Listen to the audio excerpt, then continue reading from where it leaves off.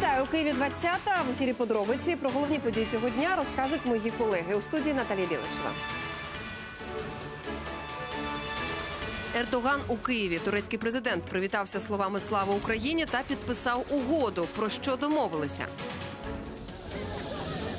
Вода як розкіш на Миколаївщині. Люди перекрили трасу через захмарні тарифи на комуналку. Чи достукалися до чиновників?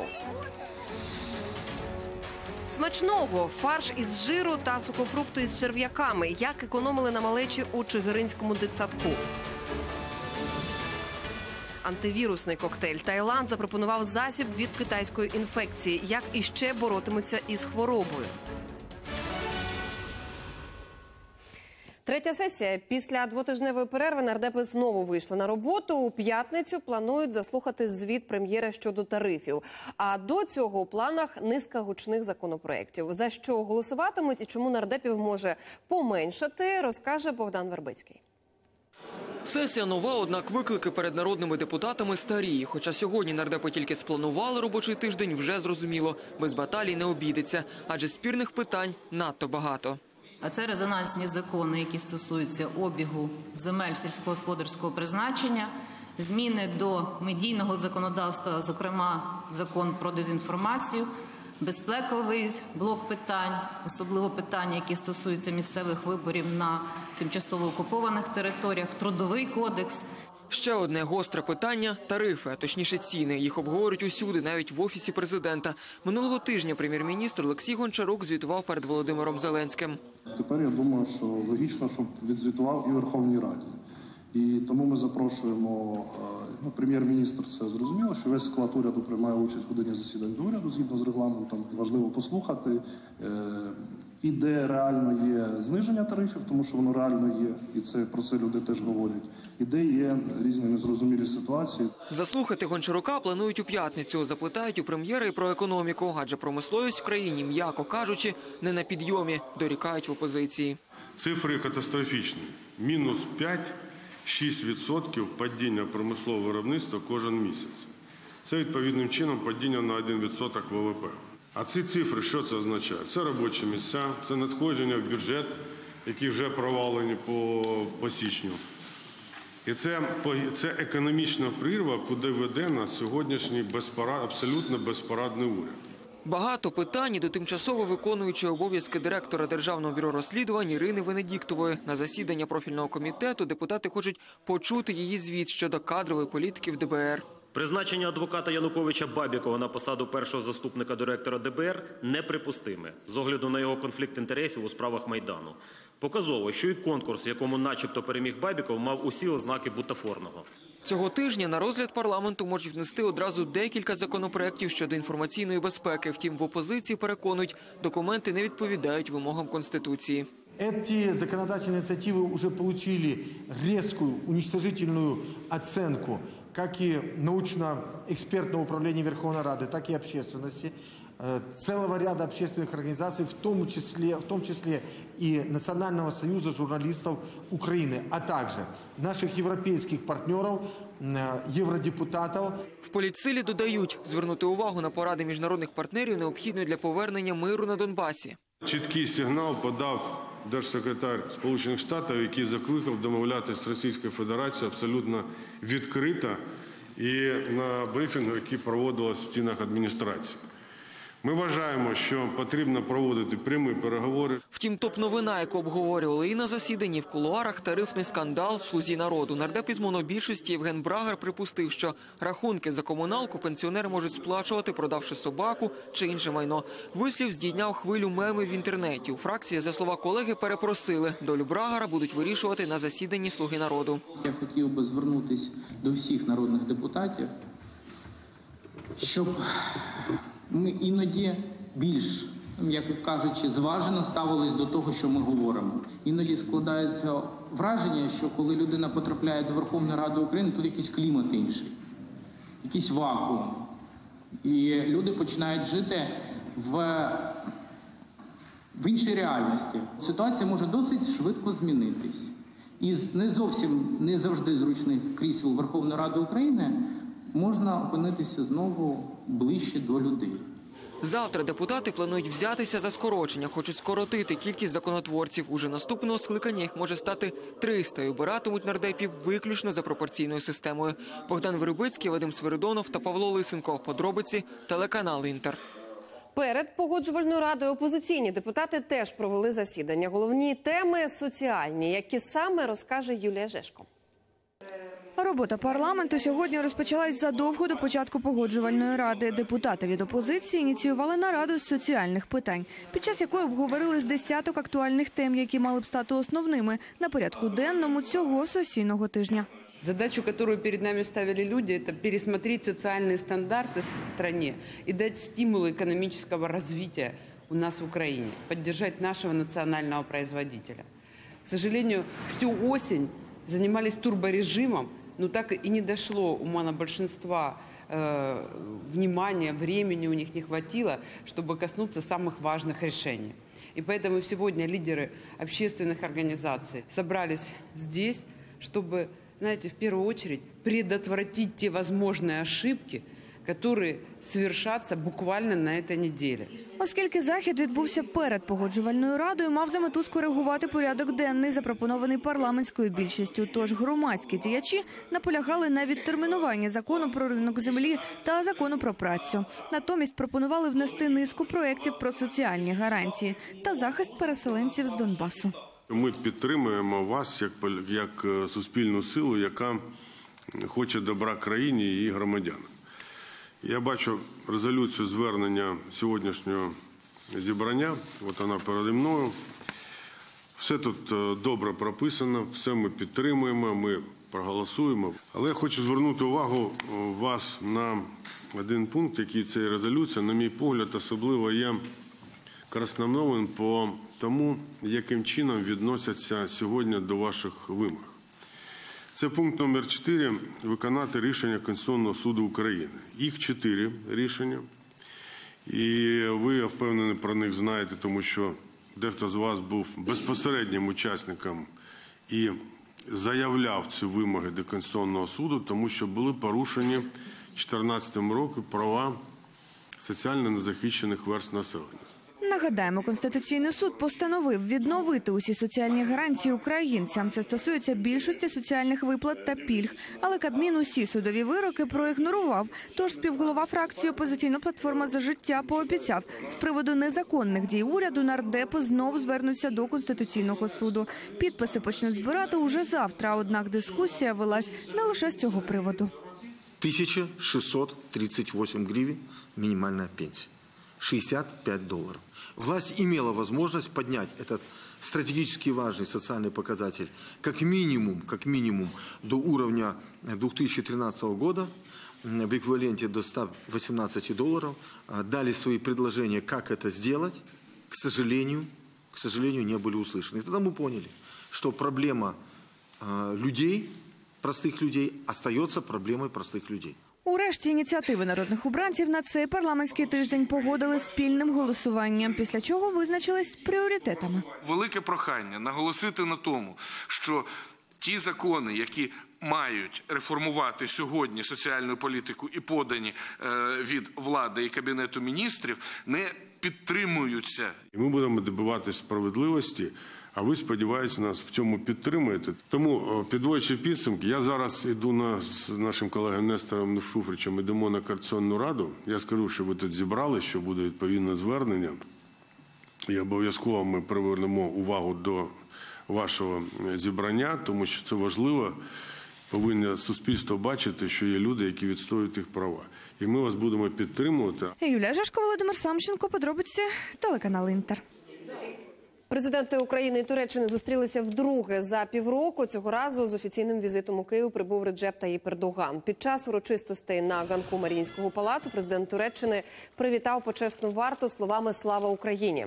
Понад чотири години глави держав спілкувалися за зачиненими дверима у розширеному форматі за участі міністрів, і в результаті підписали низку угод, зокрема про надання фінансової допомоги українській армії. Також е, підписали міжурядовий договір про взаємне визнання водійських прав. Президенти оголосили про ціль е, наступного року досягти товарообігу у 10 мільярдів доларів і підтвердили намір укласти угоду про зону вільної торгівлі. Володимир Зеленський також попросив у турецького колеги підтримки у протистоянні з Росією. Ми говорили про війну на Донбасі, анексію Кримського півострову, порушення прав людини в Криму, агресивною політикою Росії у регіоні. В усіх цих питаннях для нас надзвичайно важлива послідовна підтримка Туреччини, а також практичні кроки Анкари у цьому напрямі. Україна розраховує на допомогу Туреччини у процесі звільнення політичних в'язнів, громадян України, в тому числі кримських татар, які незаконно утримуються в Криму та на території Російської Федерації. Хочу підкреслити, ми не підтримуємо незаконну анексію Криму. Разом із Україною ми будемо продовжувати підтримувати кримських татар, які є корінним народом України. Ми прийняли з моїм товаришем рішення побудувати разом розбудовою інфраструктури житло для 500 сімей. Наші міністри обговорять це питання, і ми разом будемо діяти. Наші спеціалісти приїдуть, все дослідять, зроблять план, зроблять проєкт. Винести питання про продаж української землі на референдум вимагає народний депутат від е, партії Опозиційна платформа за життя Олександр Колтунович. За його словами, соціологічні дослідження показують, що більше як 74% українців підтримують таке рішення. Депутат подав власні поправки до закону про землю. В них, е, зокрема, йдеться про обмеження продажу ділянок для іноземців та корективи щодо об'ємів цього продажу. Нагадаю, до закону подали майже 4 тисячі поправок. Поки що на комітеті заслухали трохи більше 300 із них. Має бути зменшено концентрація земель в одних руках. Те, що там пропонували спочатку, це взагалі було неадекватно. Зараз зменшили в 10 разів. Хоча все одно, якщо навіть ми говоримо про зменшення концентрації, це все одно зараз багато. Другий дуже важливий момент по іноземцям. Ми ж знаємо так само, що спочатку хотіли також продавати землю іноземцям. Ну і третій, як на мене, куди більш найважливіший момент, є куди більш серйозніші проблеми в аграрній сфері в Україні. У нас сировинна структура експорту, у нас зменшення темпів зростання сільського господарства з 8,1 у минулому у 2018 році до 1,1 у цьому році. Сьогодні видали перший кредит у рамках урядової програми компенсації ставок малому та середньому бізнесу. За повідомленням державного Укргазбанку, позику на півтора мільйона гривень отримав один із вінницьких підприємців на облаштування міні-маркету. Офіційну презентацію програми у Києві провели представники Кабміну. Нагадаю, вона має здешевити кредити для дрібних підприємців до 5, 7 та 9 відсотків відповідно до кількості нових найманих працівників. Це обов'язкова умова цього кредитування. Цього року уряд заклав у бюджеті 5 мільярдів гривень на дешеві позики. Заявки слід подавати до державних фінансових установ. Дуже багато людей подалося, 17 тисяч заявок. Я знаю, що вони зараз почали розглядатися.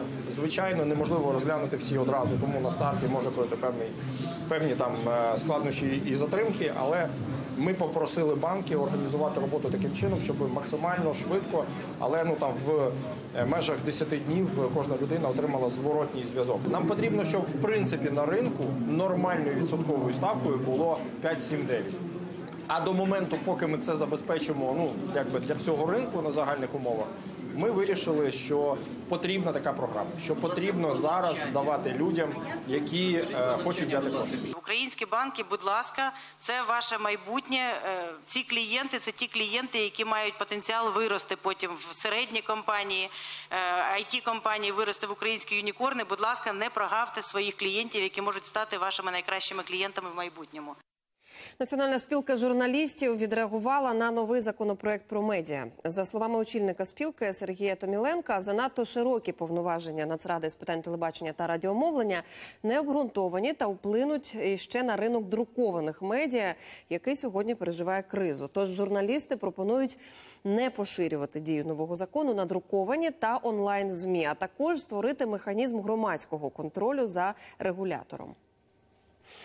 Гроші, які Нафтогаз отримав від Росії за рішенням Стокгольмського стокгольмського арбітражу, мають піти на розвиток національного газовидобутку. Так вважає голова Конфедерації профспілок України Сергій Каплін.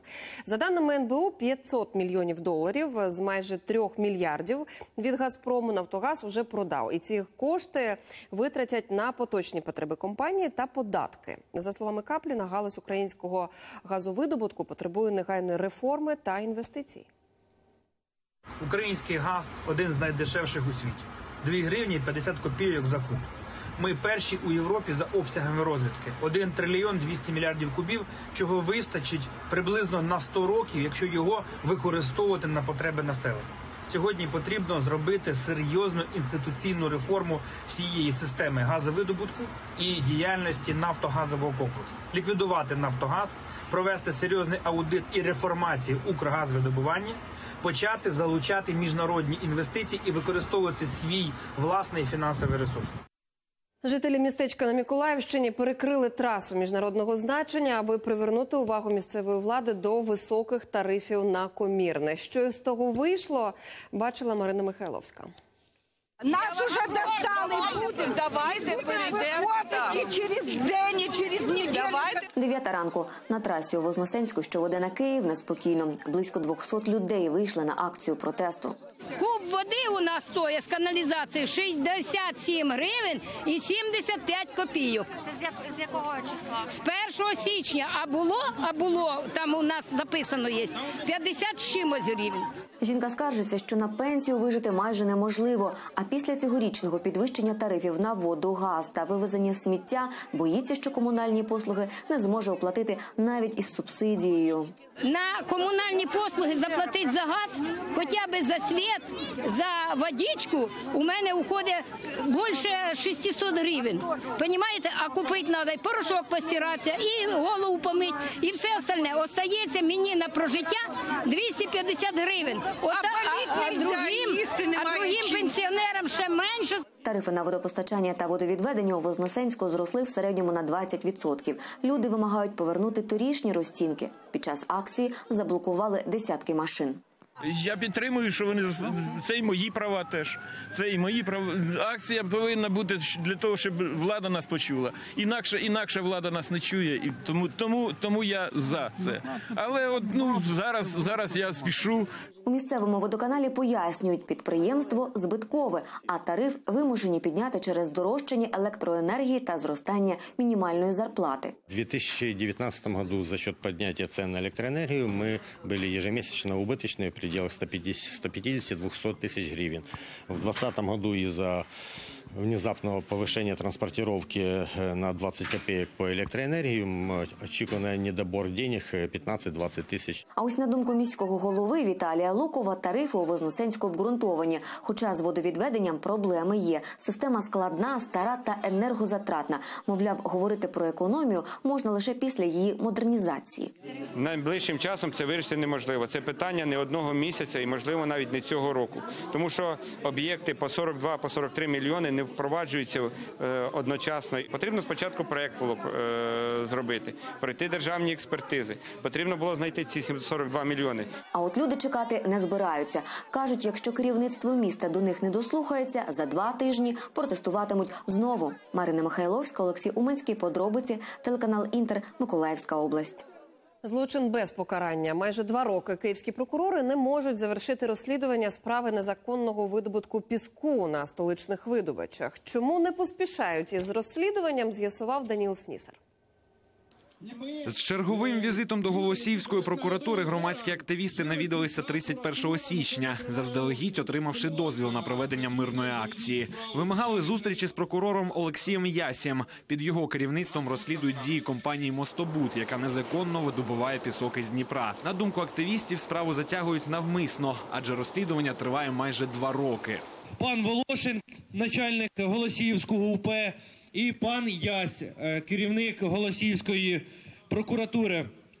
Бездіють в цьому плані. Піщані нелегали е, за ці три роки е, навпаки за рахунок того, що не сплачують податків до бюджету, получають надприбутки. Таясь в аудієнції мітингарям відмовив, викликав патрульних та спецпризначенців, а пікетувальників звинуватив у спробі захоплення прокуратури. Всех нас завели в отделение, взяли объяснения, на некоторых составили акты. Вважаємо такі дії зі сторони прокурору, прокурора цинічними, протиправними, і ми будемо і надалі робити все для того, щоб виявляти, зупиняти і інформувати суспільство про такі протиправні дії.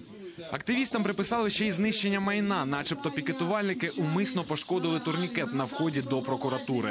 Ми проводили свою акцію мирно. Бу- Було, було попереджено Київська міська державна адміністрація. Наших активістів було заблоковано, затримано. Сьогодні зранку активісти знову спробували потрапити до прокурора на прийом. Втім, далі справно працюючого турнікета, пошкодження якого закидали учасникам акції, охорона їх не пропустила. Мирну акцію продовжили біля Голосіївського райсуду. Тут опівдні мав відбутися розгляд справ про адмінправопорушення, у яких звинуватили активістів. У суді розвели руками. Жодних документів від поліції не надходило. Вказала поліція в протоколі, що просто було правопорушення. Не вказала, де воно було. Не вказала поліція, е, яке саме правопорушення. Тобто це була лайка, чи це була бійка, чи це будь-що було. Тобто не вказано. Сам протокол я рахую нікчемним, і якщо він прийде в суд, е, то мало того, що хлопці знімуть це адмінправопорушення, і ми будемо ставити питання з приводу того, щоб суддя винесла окрему ухвалу на правопорушення тих працівників поліції. На свавілля правоохоронців представники громадських організацій поскаржилися до міської прокуратури. Там активістів вислухали і пообіцяли докладно вивчити ситуацію із розгоном мирної акції 31 січня. У разі необхідності також ініціюватимуть службове розслідування, зокрема й про епопею із незаконним видобутком піску. Одне з кількох проваджень щодо мостобуду припадає пилом у суді з вересня. було направлено ще в вересні місяці провадження до суду. Завдані збитки там сягають 12 мільйонів гривень. Направлено до суду з. Проаналізуємо єдиний реєстр досудових розслідувань, що є в провадженні Голосіївського управління поліції, е, і дійсно вивчимо е, силами апарату прокуратури міста ці провадження. Нерозслідуваним залишається і напад на одного із представників стоп корупції. Це сталося рік тому поряд із територією, де видобувають пісок. Тітушки побили активіста та понівечили його автівку. Найманці неодноразово перешкоджали роботі нашої знімальної групи. А поки правоохоронці бездіють, ділки продовжують спустошувати дніпровські надра, не маючи жодних дозвільних документів. Договір про оренду земельної ділянки з мостобудом Київрада розірвали більше року тому. Даніїл Снісар, Василь Синіцин, подробиці телеканал Інтер. У Кривому Розі загинули двоє блогерів. Вони зірвалися в отвір покинутої шахти. Сталося це вночі, і вже на світанку тіла підняли рятувальники. Усі подробиці з'ясувала Олена Мендалюк. Близько півночі п'ятеро чоловіків заради екстремального відео вирішили ризикнути життям. Двоє за допомогою альпіністського спорядження почали спускатися вентиляційним стволом покинутої шахти. На висоті близько 550 метрів вони зірвалися. и опросили тех, кто с ними принимал участие, проинформировали, что они там вроде бы пытались снимать какой-то блог или фильм, и по непонятной причине, ну, или оборвались веревки, или не, не смогли удержаться, они оборвались и пролетели 500 метров на глубину этого ствола. Майже шість годин рятувальникам знадобилося, щоб знайти тіла блогерів та підняти їх на поверхню. Загинули Володимир Тенілін і Денис Ткаченко. Наразі їх тіла направлено для проведення судово-медичної експертизи Е, за вказаним фактом. На теперішній час е, даний факт зареєстровано в порядку, передбаченим чинним законодавством. Наразі працівниками поліції з'ясовуються всі обставини даної події. Троє спільників, які не спустилися в шахту, не постраждали. За словами місцевих жителів, залишена копальня не має постійної охорони. Ну как охраняется? Она охраняется периодически. Пришли, посидели, ну, ну, ну что тут. А тут вообще-то делают, вот тут нашествие на это сооружение. Такие серьезные. То цигані налітять, тут грубають все. Місцеві жителі кажуть, це не перший нещасний випадок на цій шахті. За останні кілька років на її території вже загинуло троє людей. Олена Медрюк, Іван Біленко. Подробиці телеканал Інтер, Дніпропетровська область. Автобус із дітьми потрапив у ДТП у Кам'янському на Дніпропетровщині. 22 учні місцевої школи їхали у басейн, коли водієві стало зле. і Він помер просто за кермом. Некерований автобус зніс огорожу у бабіч дороги і врізався у паркан будівельного майданчика. Діти вистрибували на ходу. На щастя, ніхто із них не постраждав. За попередніми свідченнями, причина смерті водія інсульт. Врятувати унікальний харківський інститут, де створювали всі українські магістральні електромережі. Просять його співробітники. Унікальні спеціалісти стали нікому не потрібні. Їм уже багато років не платять зарплату, а установу відключили від е, електрики та води. Хоча заклад і досі у списку стратегічних підприємств. У причинах ситуації розбиралася Світлана Шакера. У кімнатах проєктного інституту час ніби зупинився. Ще донедавна ось тут працював відділ проєктування електричних підстанцій. На унікальному державному підприємстві, яке проєктувало магістральні та міждержавні електромережі, до початку 2000-х працювали більше 300 людей. Именно наши специалисты Харьковского института «Энергосеть проект» создали уникальные линии 750 киловольт, которым не было аналогов в мире. Від 2009-го інститут сам шукав собі замовлення. Інженери і науковці виживали як могли, просили підтримки у держави. Натомість отримували нових керівників, далеких від енергетики. Разворовано и разграблено все, что только может разворовано и разграблено. Учета нет, бухгалтерии нет, отдела кадров нет. Как свести? Более того, известен такой факт, что часть бухгалтерских документов была вывезена э, и сдана в макулатуру. Поэтому свести концы с концами, думаю, представляется большой проблемой. Заклад нині працює без бухгалтерії відділу кадрів. Інститут відключили від електрики та води. Немає опалення. 24 співробітники, які ще залишилися, приходять на роботу раз на тиждень. Від січня позаминулого року їм не виплачують зарплатню. Працівники вигравали суди та виплачувати їм борги нічим. Суд мне насчитал 41 тысячу. Я ездил в исполнительную службу, она сказала, денег нет. Нового керівника інституту на робочому місці співробітники не бачать. Наша знімальна група його теж не застала. І для телефонної розмови директор Олег Іванов також часу не знайшов. А можете чуть позже, пожалуйста, чуть позже перезвоніть, Я зараз просто не дуже удобно разговаривать. У відчаї співробітники пишуть листи звернення. Підприємство не платить податки і єдиний соціальний внесок. Тож людям не врахують до стажу цілі роки праці. В связи с этим наша оппозиционная сила, политическая партия «Оппозиционная платформа за жизнь» обращается к Кабинету министров Украины, Министерству энергетики, правоохранительным органам вмешаться немедленно, разобраться в сложившейся ситуации с целью недопущения нарушения конституционных и трудовых прав работников данного института. Співробітники інституту впевнені, зберегти унікальну наукову школу ще можна. Потрібні державні замовлення. Тож вкотре звертатимуться до Міністерства енергетики з проханням врятувати науково-дослідну установу. Світлана Шикера, Олександр Яновський. Подробиці телеканал Інтер Харків. Частування не для слабкодухих. Кухарка дитсадка у Чигирині на Черкащині чотири місяці фотографувала, чим годують малечу. Побачене шокувало не тільки батьків, а навіть інспекторів Держспоживслужби. Натомість керівництво закладу має пояснення, яке чув Станіслав Кухарчук.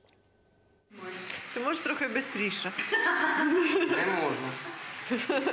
Так, кухарі Чигиринського дитячого садочку ліплять котлети на обід для малечі. А на цих світлинах те, з чого цей фарш готують. І відео, і фотографії з неякісними продуктами на прохання батьків зробила кухар Ірина Бадрак. Побачене шокувало всіх.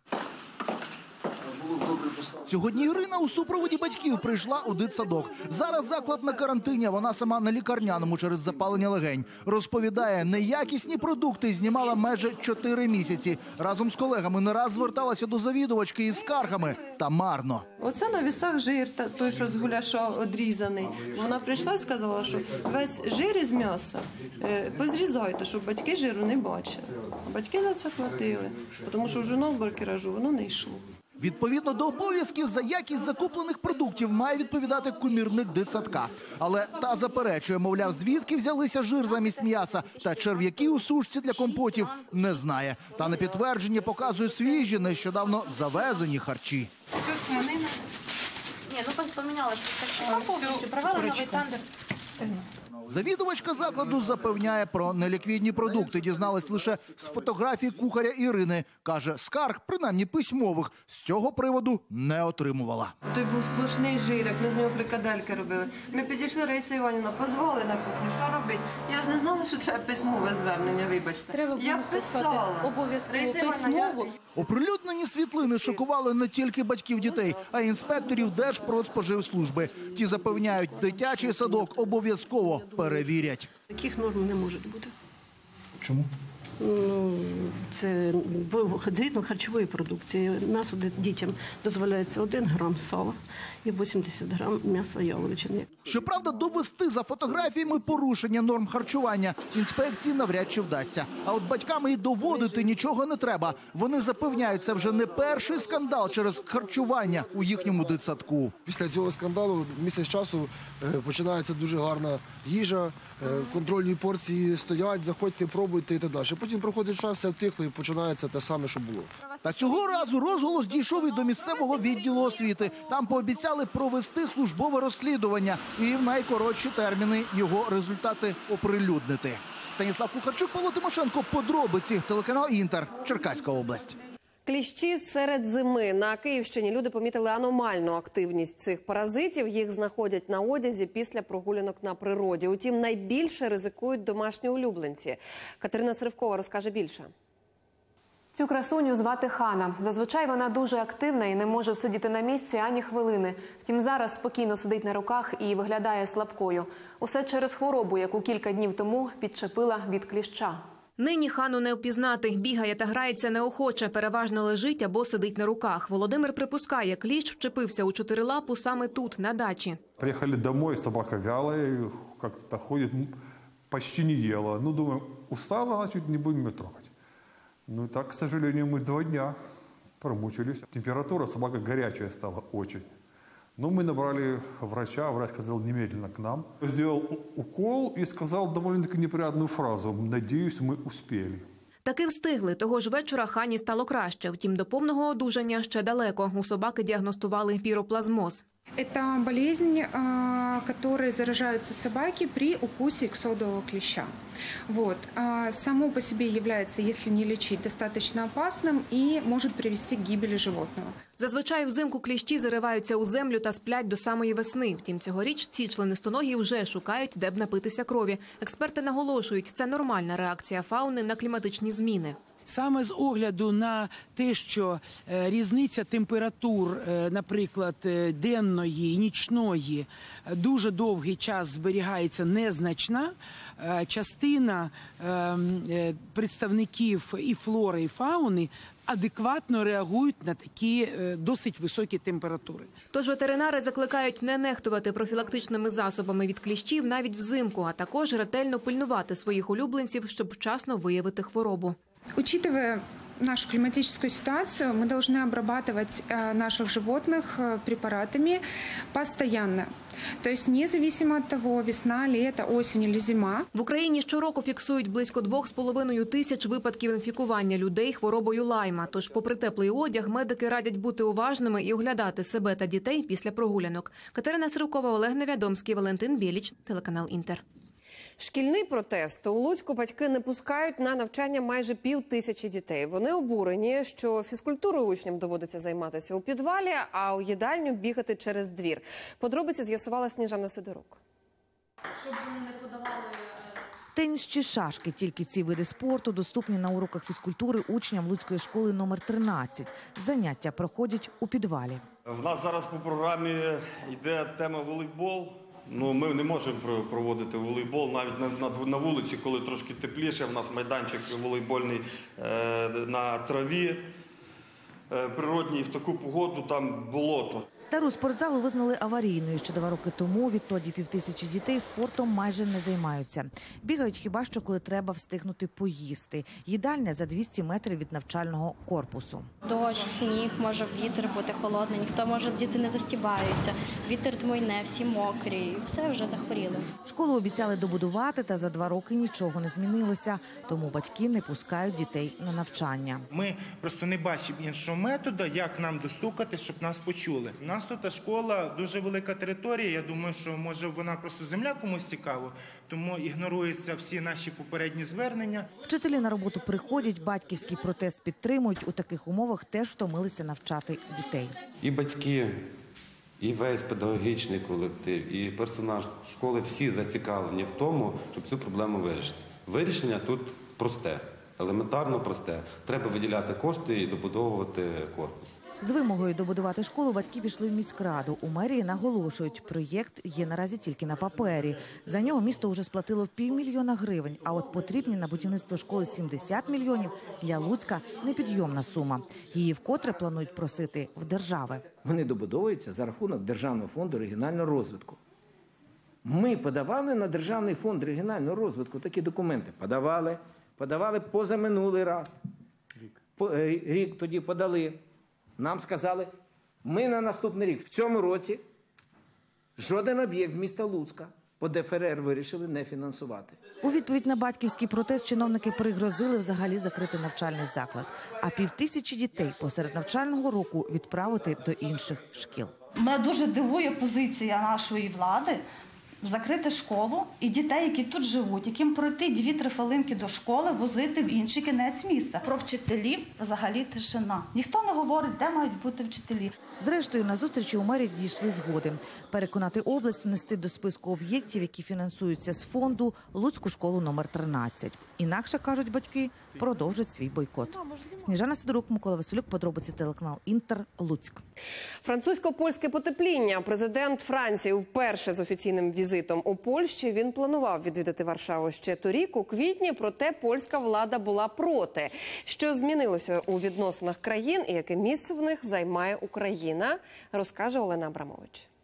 На зустріч з польським президентом Анджеєм Дудою Еммануель Макрон перебув з півгодинним спізненням, а ще на 10 місяців пізніше ніж планував спочатку.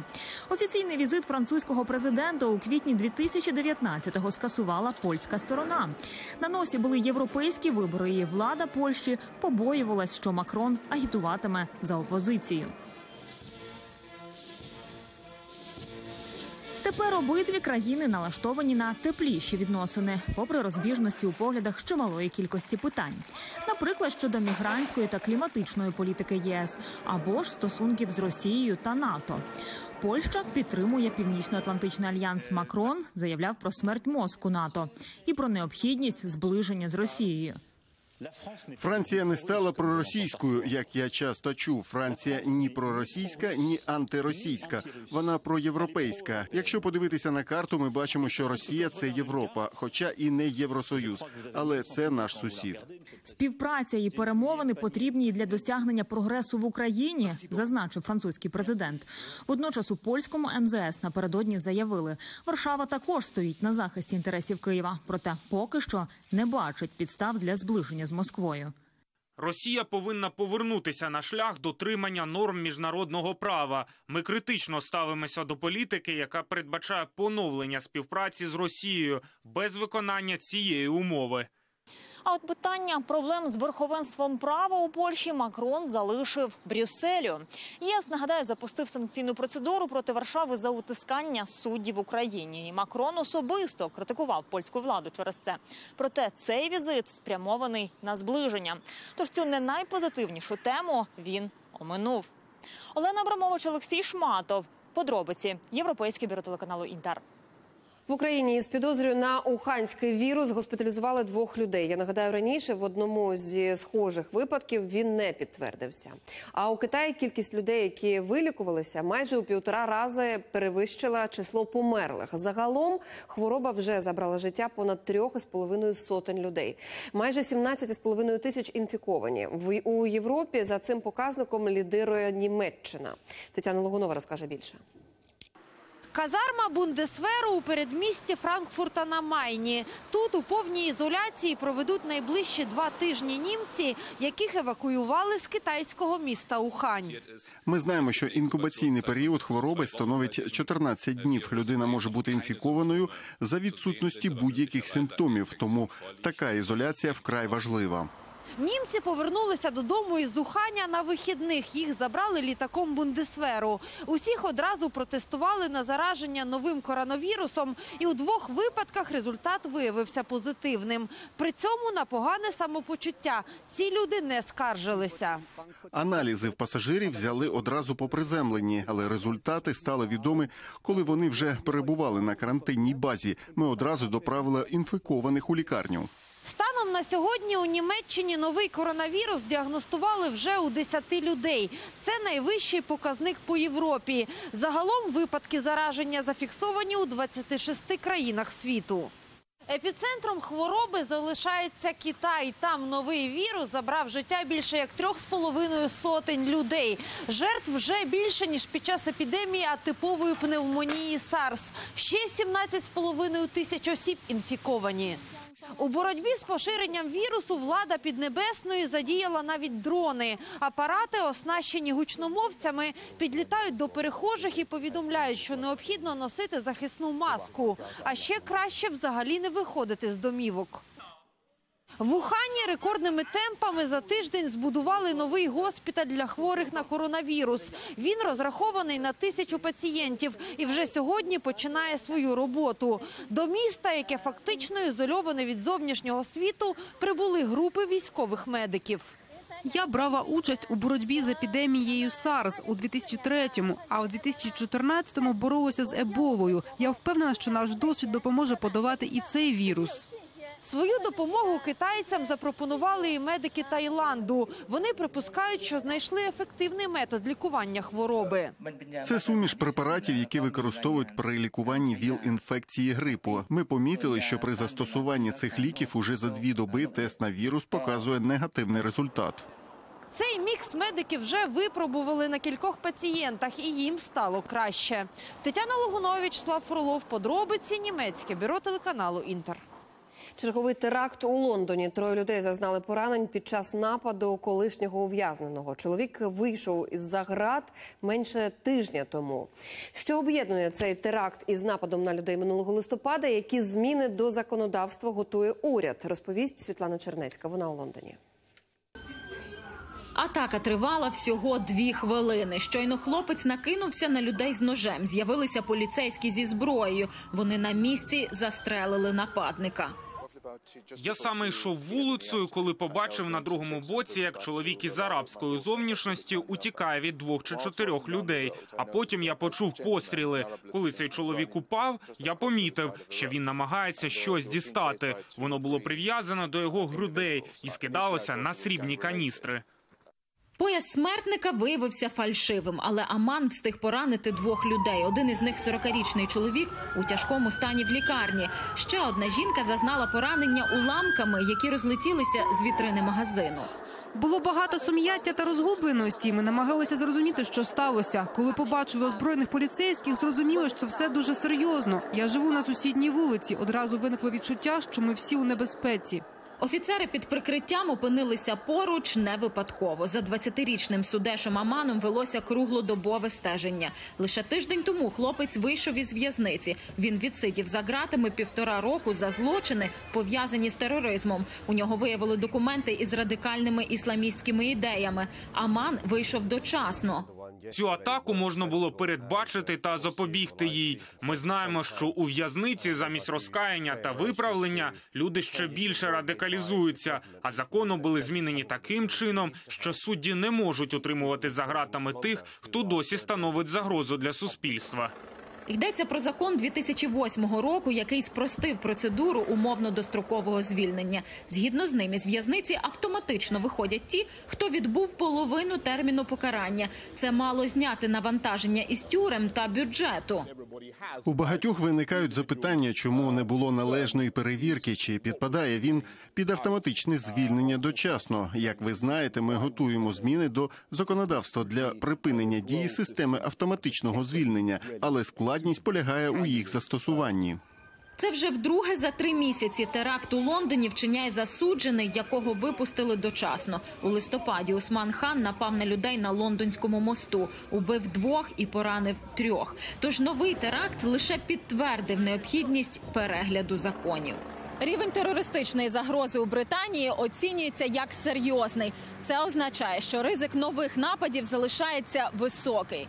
Наразі Скотланд-Ярд проводить обшуки у гостелі, де проживав Аман, та вивчає усі його контакти.